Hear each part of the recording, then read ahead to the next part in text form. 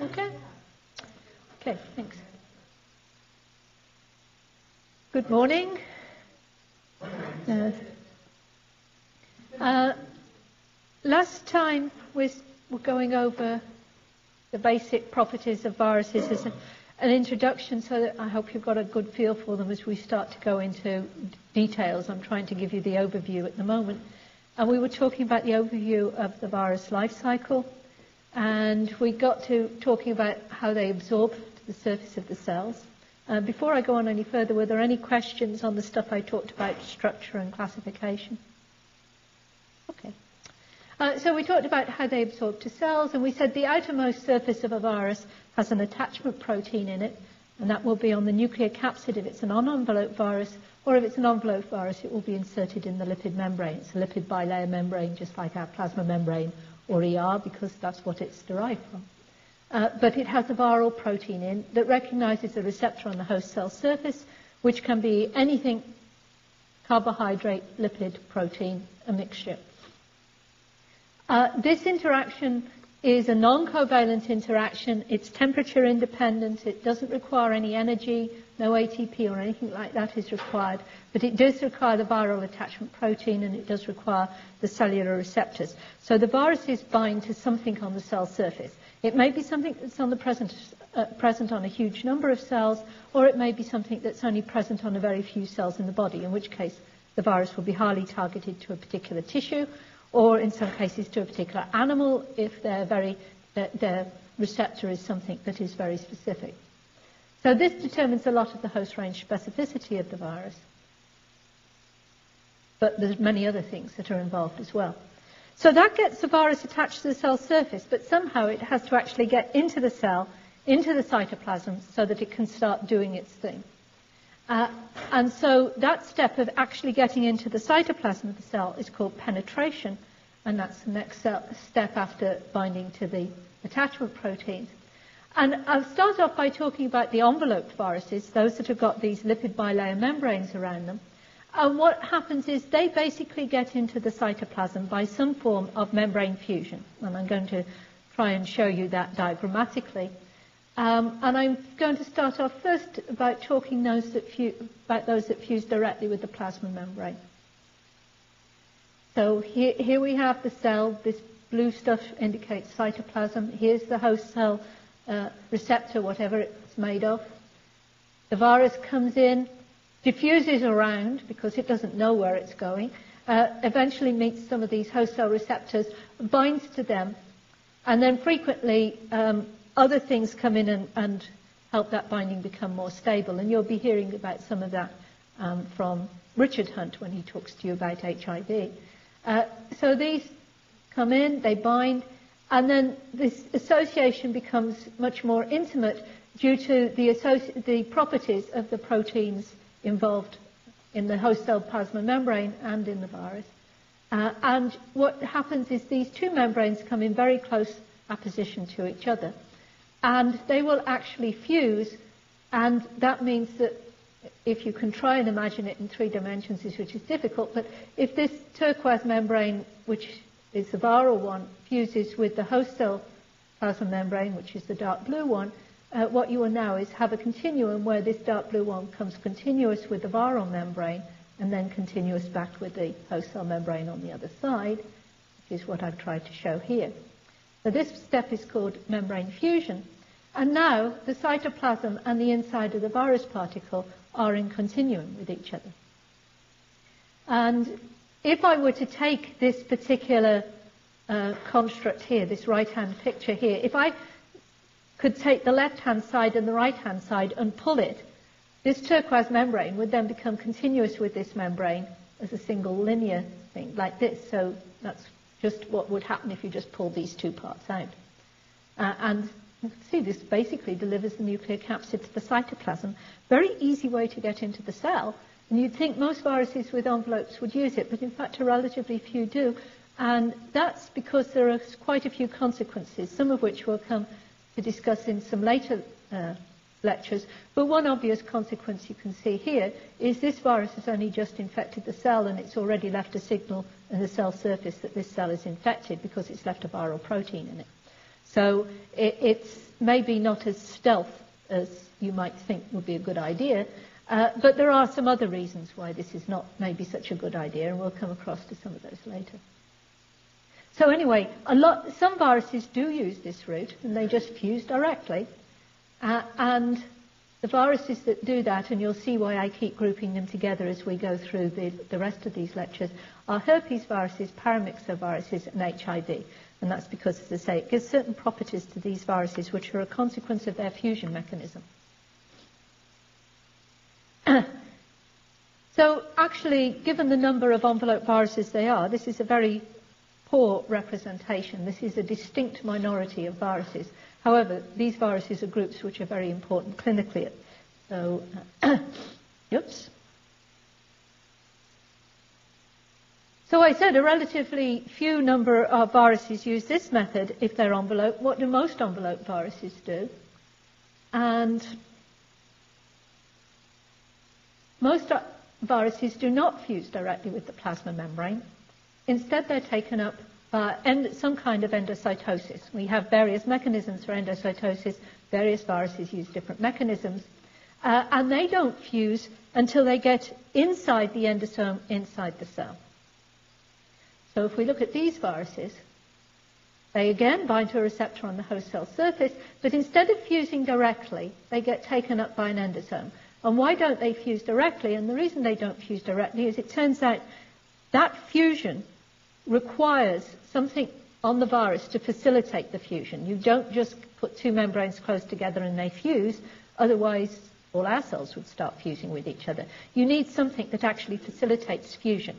So the virus in this, either the attachment protein or another protein in the virus envelope will facilitate fusion.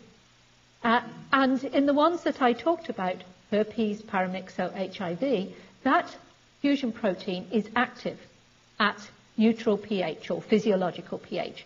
Neutral pH is pH 7, of course, and physiological pH is usually about 7.4. That protein is active at that kind of pH, and therefore it will immediately facilitate fusion. For most viruses, the fusion protein is not active at physiological pH, so they don't fuse with the plasma membrane. Instead, they get taken up into some kind of endocytic vesicle, and then they get taken into the cytoplasm, and then these vesicles have got hydrogen, hydrogen ion pumps in them. So hydrogen ions are pumped into them, they become acidic. That's a part of the normal cell mechanism.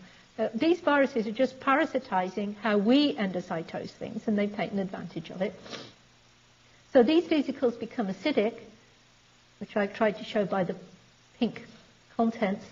And once these are acid, and it was pink, it was symbolism here, folks. Uh, once this becomes acid, this fusion protein now becomes active, and it facilitates fusion between the two membranes, just as we saw before with the herpes protein or the paramyxo protein at the cell surface. Uh, but this time it occurs inside the cell because you have to wait till it, it, becomes acidified. Once it becomes acidified, something happens to change the properties of that fusion protein, its conformation, uh, and it becomes activated. You get the fusion. And now this means that the nuclear capsid is basically in continuum with the, with the cytoplasm, and again, it can basically get out and then go off and do its thing. It may stay in the, in the cytoplasm, it may go towards the nuclear pores and deliver its contents to the nucleus. That depends on which virus you've got. Uh, and what you're left with is this endosome, which has got this viral membrane inserted into it. And if you sort of were to blow up the balloon, you just have a continuum vesicle with a patch of virus membrane on it.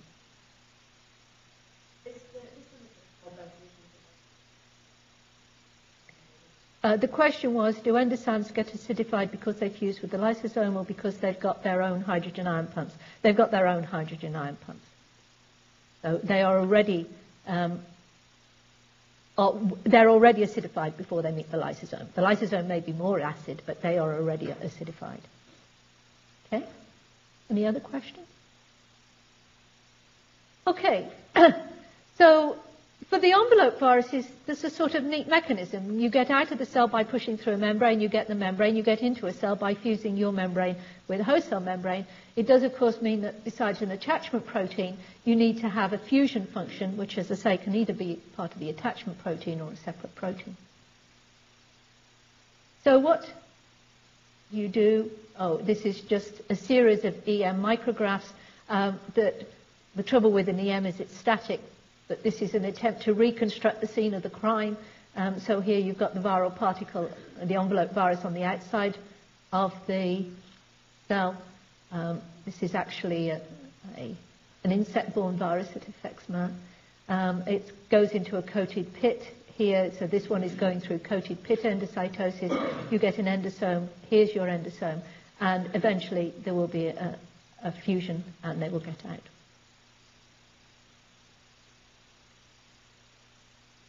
So viruses can be taken up by endosomes. Just a question of nomenclature. Uh, you may find in some books uh, that the, the endocytosis is called pinocytosis, taking up very small volumes. That's the normal way it's done. And the really old term was viropexis, and that's because at one stage virologists thought viruses were special. I guess because virologists want to think virologists were special. Uh, so uh, they tended to call all these special things, these routes, by special names because they thought they were something that was unique to the viruses. And as I say, more and more, we know viruses just parasitize us by and large. And viruses really don't have too many original thoughts. In fact, I'm not sure viruses have any original thoughts. So what you find is viruses look like they're doing things which are nearly neat and cute and you think they're specific to viruses. If you look hard enough in the host cell, you eventually find that we had the idea as well. We just don't use it as obviously as the viruses tend to. So any, the viruses are not being taken up by any mechanism that's unique to viruses. They're just hitching a ride on how our proteins get in from our cell surface. They bind to those proteins and get in along with them. Okay, how do non-envelope viruses get in? And this is a rather elaborate version of a black box because that's fairly close to where we are on how we get the non-envelope viruses get in. Because what you've got is a large protein-covered particle containing a really hydrophilic nucleic acid, and how is that going to get across a hydrophobic membrane? Um, and we have some ideas, but really there's nothing terribly concrete, I can tell you, so hence the black box. Um, but one thing is, we really have the same kind of argument. They, the viruses can enter, the non-envelope viruses, some of them enter directly across the plasma membrane. They still bind to a receptor. In this case, their attachment protein is on the outside of the nuclear capsid. This is an icosahedral nuclear capsid in this case. So they bind to a receptor. Uh, and then, presume you find the nucleic acid is in the cytoplasm, so what happens? Um, for the ones that seem to get directly across the plasma membrane, uh, it seems sometimes the nucleocapsid itself is found in the cytoplasm, and how that occurs is a mystery. Uh, and it's not even clear whether that has gone straight across the plasma membrane. We don't really know. Uh, it's very difficult to catch viruses in the app because you can only look at them in the electron microscope, and you can only look at dead things in the electron microscope. So it makes it very difficult to know exactly what they do. We, we, You'd think we know more than we do in some ways. Uh, but some of them leave the nuclear capsid on the outside, and just the nucleic, just their genome goes into the cytoplasm, maybe with an attached protein or two. So they seem to have these two things, um, and in this case, it's thought that if they just inject the nucleic acid, they somehow create an ion channel in the cell membrane, and then they can inject the nucleic acid through the ion channel. Um, so some of them do that. Others are taken up by endocytosis again. Um, and then nothing happens until they get acidified. So it seems that for some of them, getting across into the cytoplasm is something that you need to change the outer surface of the nuclear capsid by acidification before it can do whatever it's going to do. Um, that makes some sense. It means that they only they, this change is going to make the nuclear capsid much more vulnerable to the environment, so it only undergoes that change once they get inside a cell.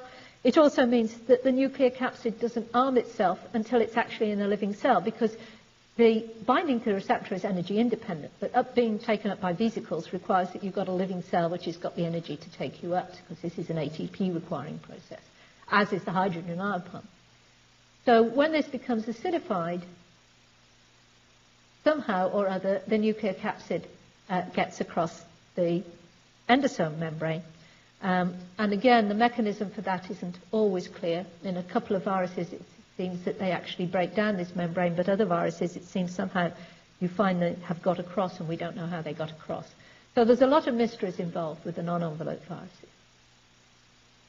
But, as I say, whether you're enveloped or envelope, non-enveloped, you seem to have something whereby the mechanism for crossing the membrane works at neutral pH, in which case you go across the plasma membrane, or it doesn't work until you're at an acid pH, in which case you need to be taken up by endocytosis of some kind or other before you get across the membrane. Any questions? Yeah, but this is taken up by endocytosis as well, and so as usual, you get this hydrogen ion pump and it becomes acidified.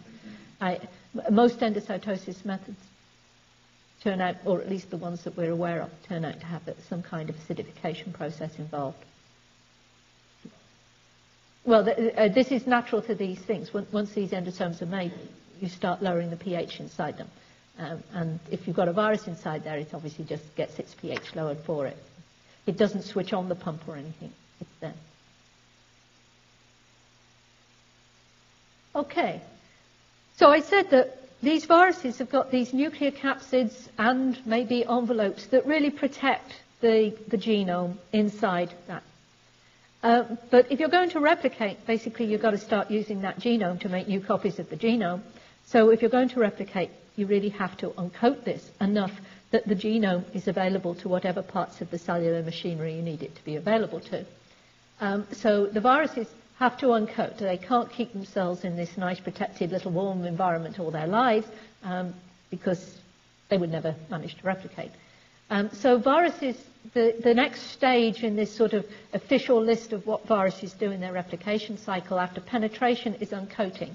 Now in some cases, since penetration for envelope viruses mean you lose your envelope, it fuses with the plasma membrane or with an endosome vesicle membrane, then that's already part of the uncoating. Uh, but they frequently undergo further uncoating to make the genome available. And that, the uncoating depends somewhat on the viruses. I'm going to, for many of the viruses, I'm going to briefly go through some of these phases, but I can't go through these phases with every virus. A, because you don't want to know. Um, B, because you don't want to learn it. C, because it's really, at the moment, it's not totally necessary that you do. And D, because we don't always know. So but uncoating is important. And as we're beginning to understand some viruses' mechanisms of uncoating, again, that's a potentially weak point, because if you can stop a virus uncoating, it's not going to go anywhere. So as we're getting more sophisticated about designing tools to interfere with viral uh, replication, uh, uh, these are targets that will eventually become available, but at the moment they're not. so once the uncoating occurs, they enter the eclipse phase, and as I say, the eclipse phase is when you've uncoated the virus, so it no longer has the attachment protein linked to whatever it should be linked to. If you open up this cell and extract it, you won't get any infectious material out of it. But if you were to leave that cell for another few hours, it would produce thousands of virus particles. So the virus is still there, you just can't see it, so it's called be, it's the eclipse phase. And one thing is that seems like we're just going through nomenclature, but one thing to remember about this is you can think that somebody's got a virus, but if it's in the eclipse phase, you can't find it. So it can be difficult to find a virus even though something is infected. Uh, so you have to remember that you, viruses can be hanging around, but if they're not producing infectious particles, they can be in this kind of eclipse type period, uh, and it can be very difficult to find them. Uh, and uh, you never know that this thing is infected. So uh, the eclipse phase has some explains to some extent why we've had difficulty in isolating virus from tissues that we thought were infected. And once we realize this, we can get round it in some way or other. Um, so when the, the, eclipse phase technically ends with the first new virus produced uh, at the end of this, this uh, protein synthesis period and, and DNA synthesis period. So what happens is once the virus is uncoated, the nucleic acid gets replicated, the protein, new proteins get made. Now you've got a pool of nucleic acid, you've got a pool of proteins. There's a self-assembly process. As I say, virus assembly is, has to be relatively simple. So there's a, a self-assembly process, uh, and then you get new particles. First new particle, end of eclipse phase. Uh, the assembly can occur in the nucleus or in the cytoplasm or by a membrane. Um, and then the viruses uh, can undergo, you can get viruses which are assembled but are not thoroughly mature. In other words, it looks like a virus particle, but it's not yet infectious. It needs other changes for it to become infectious. And we'll talk about some of those as we go through individual life cycles. But assembly and maturation, um, some simple viruses just seem to almost just do assembly, but many of the more complicated viruses, they assemble and then they go on under maturation phase where they really pack things properly and get into the final condition that they need to infect the next cell. Um, this is just an example I gave you. Uh, this is pox virus, one of, as I say, the most complex viruses. Uh, and um, this particular one is smallpox virus. Here's the nucleus. Nothing is going on in the nucleus. Here's the cytoplasm. And these are new pox viruses assembling. And it takes new pox viruses quite a long time. They start as these sort of amorphous things and they gradually get larger. And they, this is a mature virus particle. It's sort of brick shaped. And I can see from here it's got what look like two membranes on it. This is probably also a pretty mature virus particle. So these two might be infectious. These are not. They haven't got there. So there's a long maturation process with this really complex virus. It takes about an hour, it's been determined, for it to undergo from where it first starts assembling into something that looks like a viral particle to really getting mature enough that you get some infection out of it. Question? Yeah, the virus DNA is in here. Uh, the question was, do these black things have the virus DNA? And uh, you can't really see it, but um, uh, see this kind of, there's a sort of dumbbell-shaped thing here. If you've got your laptops on or the handout, it might be easier to see it. But there's a kind of dumbbell-shaped thing here, and that's the DNA packaged with various proteins. Uh, and it takes this kind of dumbbell shape in this virus.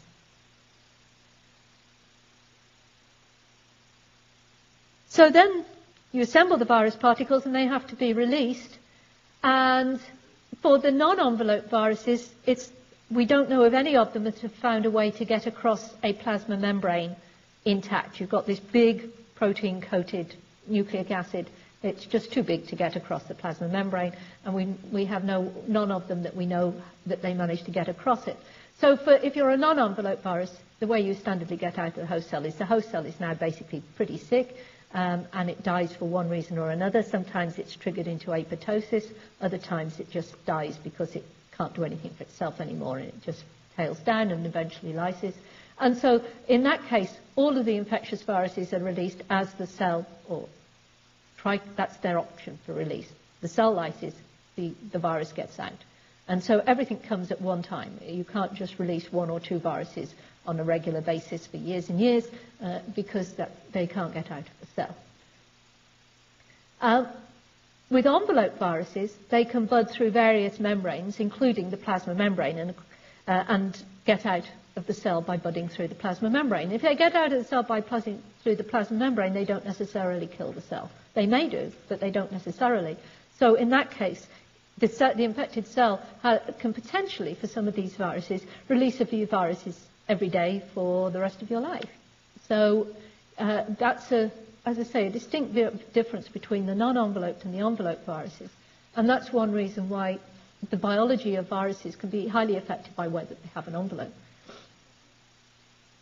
Another question?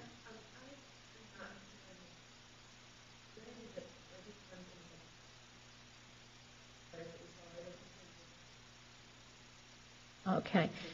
Yeah. So the, the question was, are those viruses inside the cell, are they virions?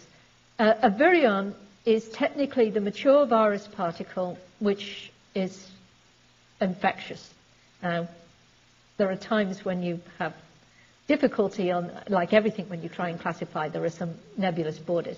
Um, but in that picture back there, just go back, almost certainly these would be infectious and therefore these are mature virions. So these would be said to be um, you could call these, if you want to, I guess you could call them immature virions or, or um, they're, they're, normally called immature virus particles or IVPs um, because they're not infectious. Uh, so this would be the virion. Uh, and we'll be going through the life cycle of pox virus. This would be the virion. Any other questions?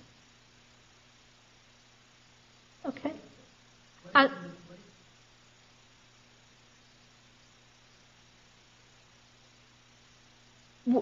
um, it depends for every virus particle, but one thing is, as you get these larger virus particles, I, there are lots of answers. Okay, the question is, what do you have to do to become infectious? And we'll be seeing some examples as we go through. Um, but one, one part of the answer is that for these really large virus particles, it's difficult to do self-assembly of the final virus particle. Um, you can see the kind of problem we have here. You know, this comes apart, and it's very difficult for me to put it back together again because I need some help. Uh, it just falls. It doesn't self. It's not terribly easy to do. What happens is, for adenovirus, which um, is bigger than that, well, has more hexons than that. Uh, for adenovirus, what happens is, and for herpes virus, which is another relatively big virus, they assemble a scaffold. So it's kind of like building, you know, a dome on a church or something like that. You assemble a scaffold, and then you put the virion capsid on the outside, and then you have to remove the scaffold before you can put your DNA in, and then you put your DNA in, and now the outer virion is pretty leaky because you didn't tighten everything up. Now you kind of screw up all the bolts, tighten all the holes, and it comes tight and protective. Um, so you have to be able to assemble things, so you have these scaffolding type things that have to be removed. Um, you have to get your nucleic acid in, so somehow it has to have some kind of uh, opening for the DNA or the RNA to go in. And then once it's all in, you need to now close all those openings so that nothing like ribonucleases or DNases can get in. And so it, usually something then happens and the capsid tightens up. So there's this sort of pr- procedure whereby these tightening things go up. I'll show you an example with retroviruses in a minute. But it differs slightly for each virus as to exactly what happens. But does that sort of help you? Okay, looks like I, yeah. Uh, and the other thing I want to stress is with animal viruses in particular, not every released virus particle is infectious. Um, and a quite reasonable infectivity rate would be 1 out of 50 or 1 out of 100 of the viruses that come out of the cell is actually infectious.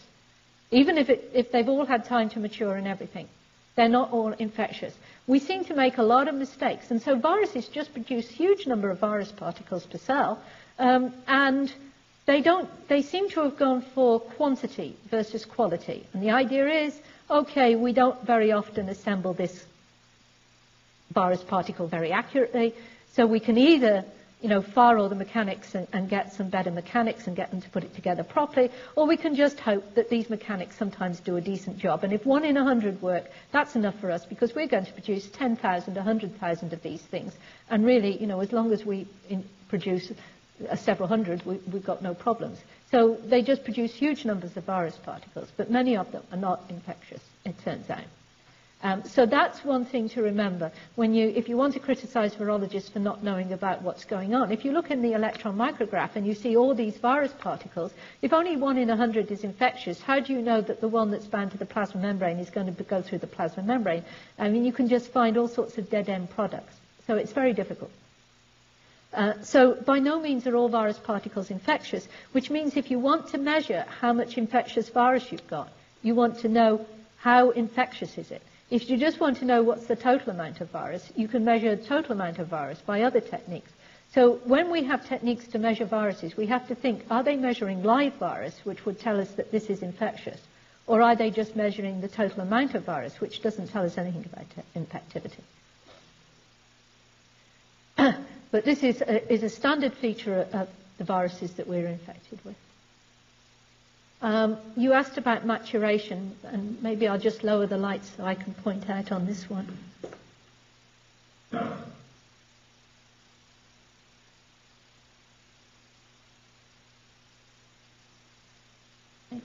So this is HIV. HIV actually matures after it buds from the cell, so it's kind of unusual in that sense. Um, so this is HIV, which is a retrovirus. Uh, it's genome associated with the proteins that's going to make the capsid, and capsid is based on a, a icosahedral capsid, are, are actually originally look very much like donuts. So they arrive at the cell membrane, they start pushing through the cell membrane, And what you get are enveloped Krispy Kremes um, that push out of the cell. So this is what the virus looks like as it comes out of the cell. Um, but then what happens is that's because all of the proteins needed for the capsid be, have been made as a, as a polyprotein, uh, as a, proteins hooked together. And now they have to be cleaved. So they're cleaved by a protease. And when they're cleaved by a protease, now they can reassemble and to form an icosahedral nucleocapsid.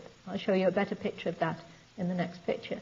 So they're not infectious until this nucleocapsid has been formed and they've undergone all these other changes that are associated with that. The protease that does that is a virally coded protease. And that was the big, one of the recent, well, not so recent now, but that was one of the big breakthroughs in HIV. Originally, when HIV came out, most of the drugs were targeting the polymerase and they were nucleic acid analogs. And now we've got protease inhibitors that stop this going to this. And if this doesn't go to this, this isn't infectious. So basically, those protease inhibitors that are being used for HIV treatment stop the maturation step. And if you stop the maturation step, this virus is not infectious. It's only this virus that is.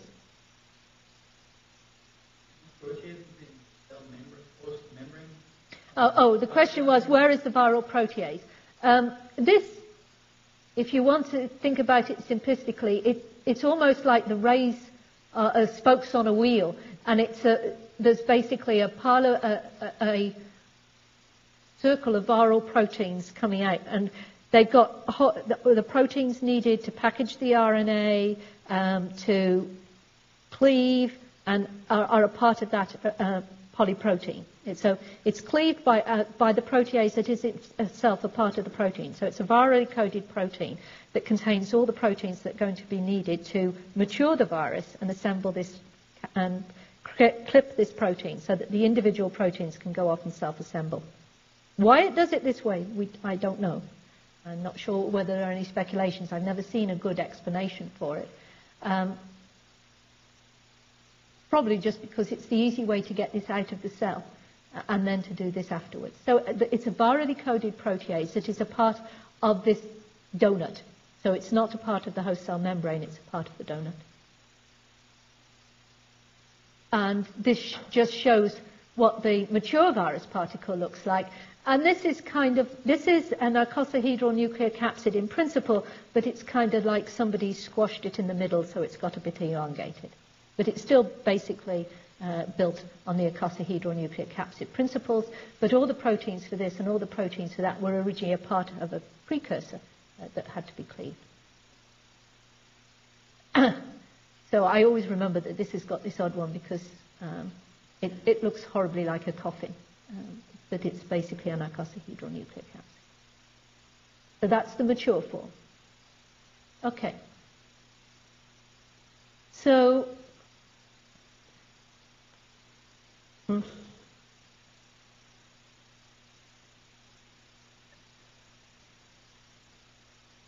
is this, well, I just want to go back.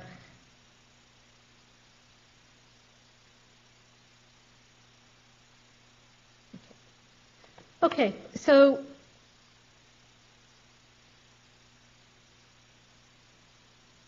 any questions? I mean, that was just an overview. We're going to go into individual viruses, as I say. Um, one thing is I need to do some definitions again. Uh, now, viruses, virologists, when they say structural proteins, they mean all the proteins that are in that mature virion. So, for example, in the case of HIV, the protease would be a structural protein. But there's only a few molecules of protease, uh, and it plays no skeletal role at all. It no, plays no support role. So the term structural is really bad, but it's used. So I have to explain it. So when you talk about structural proteins, those, that means proteins that get into the virions. So if, if you've just got one molecule of an, a reverse transcriptase or a protease or something like that in the virions, that's a structural protein. Non-structural proteins are the ones that don't get into the mature virion. So the scaffolding proteins that I talked about are non-structural proteins. They're removed. Uh, so non-structural proteins are the proteins that are needed for the virus in the cytoplasm, but it doesn't need to take it with it outside the cell to get into the next cell.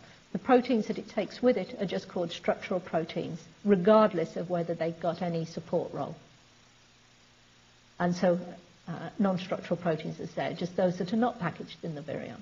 So the definition is simple, but it isn't always intuitive.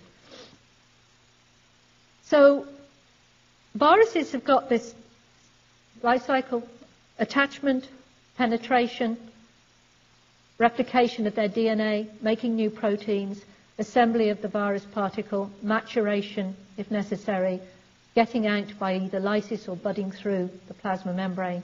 Um, but what do they do to the cell? And again, I, I want to give an overview of some of this because um, this is important in terms of what the pathologist sees, uh, and I'll try and stress it early on. Uh, so, any of these, these viruses, and each particular virus in particular cells has got its own pattern of what it does, uh, but viruses can inhibit any of our macromolecular synthesis, DNA, RNA, or protein. So if they inhibit those, this is obviously going to have an effect on our cells. And so if they inhibit it in a particular cell, um, then that's going to knock that cell out, that cell's functions out in many cases. So that can explain some of the pathology of the, of the viruses. So some viruses kill their cells, other viruses do not. They don't inhibit these significantly at all, and those viruses are much more likely to persistent. So if I have the choice of having a virus that knocks out a few of my skin cells versus one that becomes persistent and I have for the rest of my life because it doesn't kill my skin cells, I'd rather have the one that kills my skin cells because I can replace a few skin cells.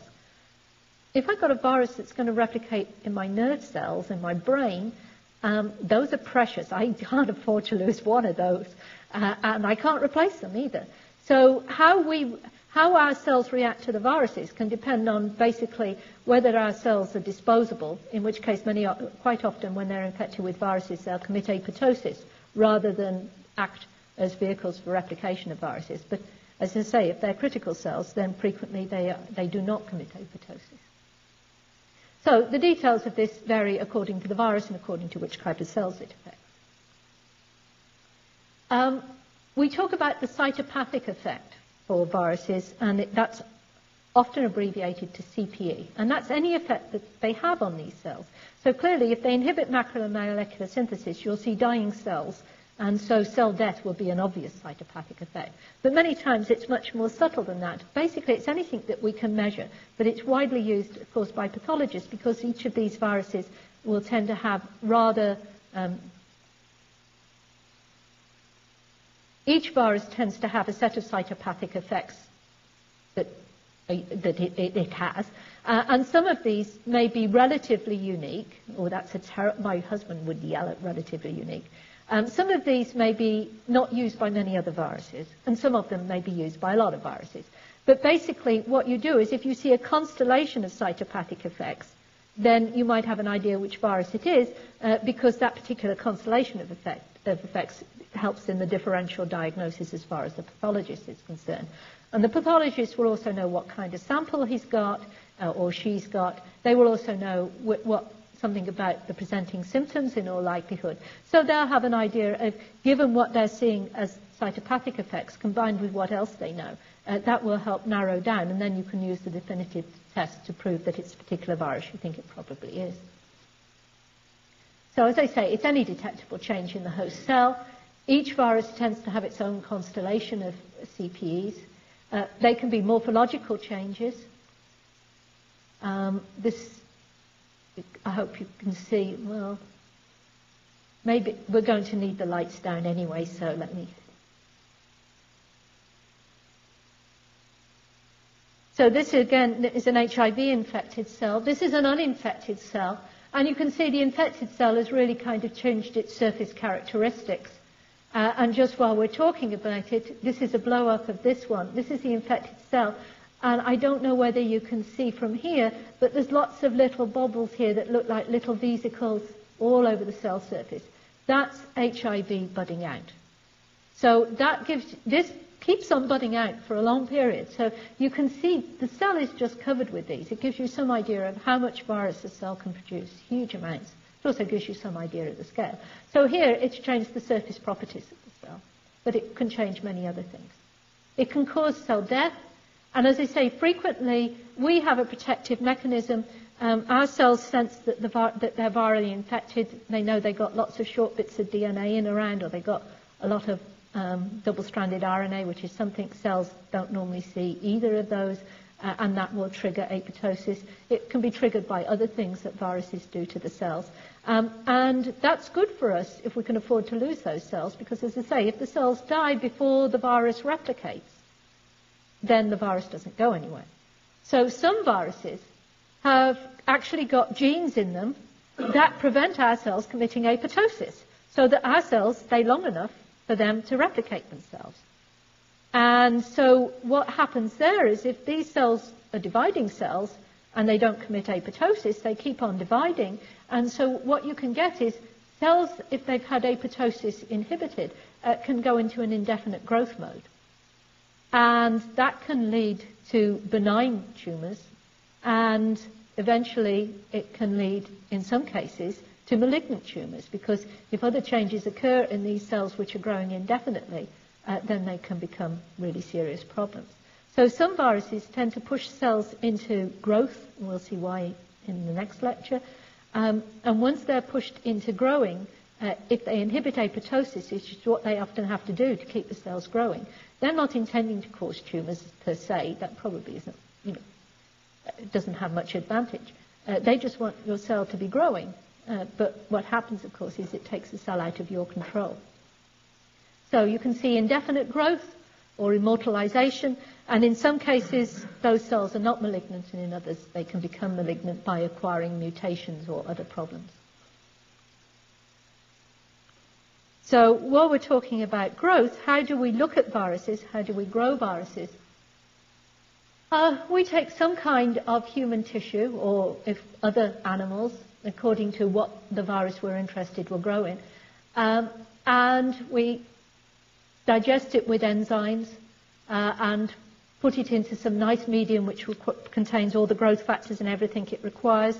We don't really know what it requires, but it turns out if you give serum, um, either human serum or animal serum to the cells, uh, the serum tends to be very rich in all these factors and the cells will usually grow. Some cells may require you to add extra things, uh, but you can get this, frequently you can get cells to grow. Not all cells will start dividing if you put in tissue culture, but you hope you can get at least some out here. And by now we have a pretty good idea of which ones we can get out and which ones we can't. And then you can put them into what's basically a plastic Petri dish. It's just slightly different from the glass Petri dishes that you see. Um, a, because it's plastic, which is irrelevant really, uh, but B, the bottom surface has been modified so that the cells will stick to it. So the cells will stick down. Uh, most cells stick down, not all, but they stick down. They will start growing until they cover the whole surface of the plate. And then they usually stop growing, uh, which is a pro- pro- property that our cells have because uh, once they meet other cells, they stop growing, which is why your liver isn't sticking out miles ahead of you or anything. Uh, because once you get to a certain size and everything is meets each other, it stops growing. So the cells stop growing. Uh, and then if you want to keep them growing again, you use an enzyme to get them off this surface, um, dilute them with more medium and put them, so you might take the cells from this one and you might dilute it with more medium and put it into four or five more plates and then grow those up until they become what's called confluent. That's when they meet each other. Uh, and once they're confluent, you can pass them again. So you can keep making more and more plates. Now, some of, some of these cells, when you take them out here, as you passed them, the differentiated cells die um, or they lose their differentiated status. Uh, so as time goes on, you lose a lot of the cell types that are here early on, uh, but it, you can eventually get some cells which will grow indefinitely, uh, and those are often used because that's very convenient. There are tissue culture banks where you can buy these cells. There's a big one up in, near DC called the American Type Tissue Culture Collection. Um, so if any pathologist around the country or any researcher around the country wants them, they contact them. They can get these cells so that you know you're working with the same cells as the people in Seattle. And if they find that this particular virus grows on their cells, it should grow on your cells. And if you find something out with this uh, it will work for them. So in the pathology lab, if you want to grow up a particular virus and you want to see whether it will infect these cells, you know it should infect the cells if it's that particular virus. If it does infect the cells, that's yet another tick in the column that it looks suspicious that you've got, you know what the virus is. So this is tissue culture of the viruses, very useful. In some cases, people have to work directly with the animals, but usually people would rather use something where they don't have to work directly with animals unless they can avoid it. Um, it's just nicer to work with things that are, don't require you to kill animals all the time, and it's also much more reproducible. Um, many times you don't even do this step. As I say, you buy these immortalized cells uh, from tissue culture banks. Uh, but for some viruses, uh, they have to grow in this kind of early type of material because they require cell types that nobody has been able to make in, into immortal cell lines. Uh, but usually people uh, use this kind of thing. This just shows, if anybody wants to see them, I have a couple of these. Well, I did have. Oh, they're over here. So these are just the kind of things that you grow the cells in.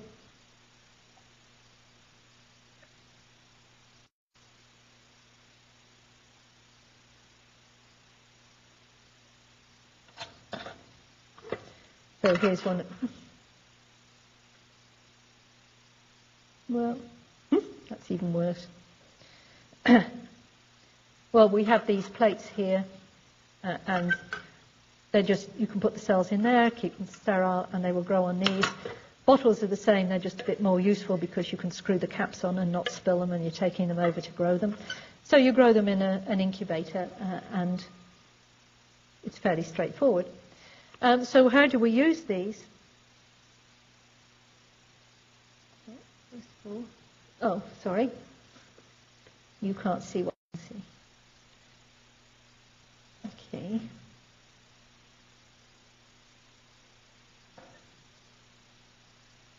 Okay, so here are some epithelial cells. They look like nice cobblestone paving type of stuff. Um, frequently, when you put epithelial cells in culture, um, they don't look quite as nice as this, and they're said to be epithelioid. And you can also get these elongated fibroblast type cells. So these are, are two cell types that are frequently used to look at viruses. Don't memorize this. I'm just trying to show you how we look at viruses. Um, so here are epithelial cells infected with an adenovirus. Early in infection, they're rounding up. That's, these are floating cells. They're basically dead. They, they can't stick anymore because of what adeno has done to them. And eventually it starts lysing them. It's a non-enveloped virus. It gets out by lysis. And so you, you lose a lot of cells because they've just popped and disappeared. Here is respiratory syncytial virus, and I would know that it's a syncytial virus because here these cells have co- it's caused fusion of all of these cells. And we'll come back to why these do, but the, the viruses that fuse with plasma membranes tend to cause these syncytia. Uh, so these are cells where the, the plasma membranes have fused together, and the nuclear membranes have not. So it's got, it's got however many nuclei correspond to however many cells were fused. Um, so this is obviously a very different appearance. So these are the kind of things that give the clue to the uh, clinical virologist as to what's going on. Um, here are fibroblastic cells infected with herpes simplex, and again, um, you can start to see cells rounding up here. By here, cells have rounded up. It also does cause lysis, even though it's a membrane virus. And down here, there's some fusion going on because it's one of the fusing viruses as well. Um, so if you know what type of cell you've got and you see these kinds of things, then you know that some viruses will do this to fibroblasts but not epithelial cells or vice versa. So you start having quite a few clues. Here's poliovirus, and it just blows the cells apart on fibroblasts in this case. So how can we look at how, how infectious virus is um, without killing a lot of animals? Uh, and one way we do it is something called plaque assay. So if we have, this is meant to be those cobblestone epithelial cells in this case. So if we've got these cells growing in tissue culture, and we infect with a very dilute solution of virus, maybe one of these cells will get infected and not the rest of them. So if we're doing this in real life, we make a series of dilutions so that we get one dilution that will do this kind of thing. So the rest of these cells will be uninfected. Now you can't see this infected cell, not unless you've got really good eyesight. Um, but the virus will replicate, and it will grow, and it will lyse that cell in this particular case, or kill it in some way or other, and then it, can inf- it will infect the surrounding cells. And when it infects those, it will kill those eventually, and then it will carry on. So what will happen is that original virus particle can make a big hole in this cell confluent monolayer that you originally started with. In fact, what we do is we put a bit of stuff like agar into the medium to stop the virus diffusing around so that it stays where it started. Um, and the medium is what is basically the, the liquid that we put on top to feed the cell. Uh, so in this case, we would have a hole. And we know that the hole was due to one infectious virus particle. Uh, so that we don't care about how many numbers we have now. All we are doing is we're leaving the hole enough time to grow so that we can see it. So every hole that grew started off from an infectious virus particle. Of course, the non-infectious virus particles wouldn't have been able to grow and wouldn't cause a hole.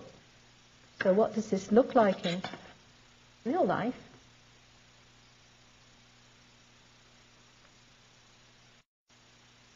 Okay, so here we have a real Hmm?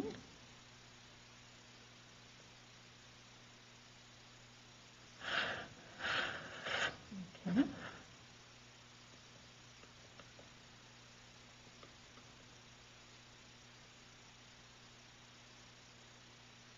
Okay. So here are these holes, and on this particular plate, uh, there are six of these wells, and these would be done in duplicate. So you can see these holes. Each one started from an infectious virus particle. We know what volume of liquid we put on, and we know how much diluted it was. Uh, as we do the series of dilutions, these are tenfold dilutions. There are too many to count here. They're overlapping each other, and it would drive you nuts to count them. Uh, but here, you can count these.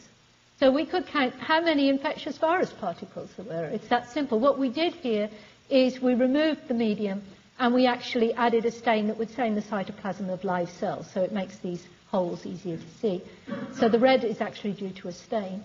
Um, and so if we know that we added 0.1 mils of, of virus that was diluted 100 times here, if there are, say, 30 plaques on here, we know if it was 0.1 of a mil, there were 300 plaques in a mil, and if it was delivered, diluted 100 times, that means that we've got 300 times 100 infectious virus particles in a mil. So it's really a very simple way to do it. The next dilution will be so dilute that we don't really have many plaques. There's none on that. There's three on this. Okay? Yeah, the question? Uh, just that we know how long to leave them in order to take them off. So yeah, if eventually it would just kill the whole plate. So we know how long to leave them such they're big enough to see easily, but they haven't killed the whole plate. Sorry, the question was what stops them growing more? The, the, what stops them is we had to remove the medium and stain them, so that's, that stops them in their tracks wherever they got to. Okay.